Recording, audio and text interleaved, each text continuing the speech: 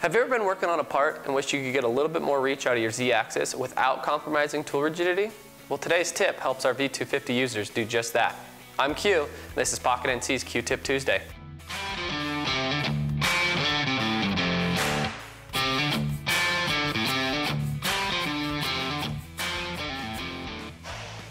While Pocket NC machines typically have access to more features on a part than a traditional three-axis machine, there are still times when certain features can't be reached. When this is due to a z-axis limit, specifically a negative z-axis limit, oftentimes you can get away with just sticking your tool out a little further. The downside to that method is that the further out this tool sticks from the spindle, the less rigid it becomes. That, of course, will cause chatter and other issues. Now, some of you may have already noticed, our V2-50 spindle is mounted with a system very similar to our ER40 collet fixture. Not only does this system allow us to take the spindle out for maintenance and repair, it also allows us to reposition the spindle if we need to. So, if we are short on travel by half an inch or less, we can simply slide the spindle out of the collet to gain that extra reach.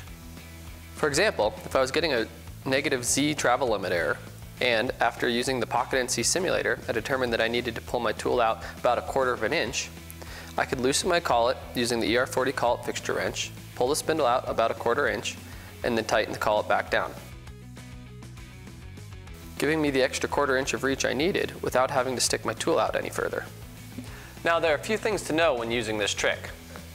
One, we don't recommend using anything but our ER40 collet fixture wrench to loosen the collet. So if you don't have one of these, please contact us so that we can get you one.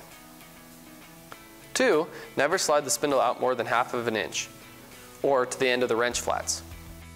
Three, after you've tightened everything back down, make sure that the spindle lever points up when in the locked position. So, as long as you keep those few things in mind, this is a great way to get a little extra reach out of your V2-50 Z-axis. I think that about does it for this tip. As usual, if you have any questions or comments, feel free to reach out at any time. Until next time, happy machining.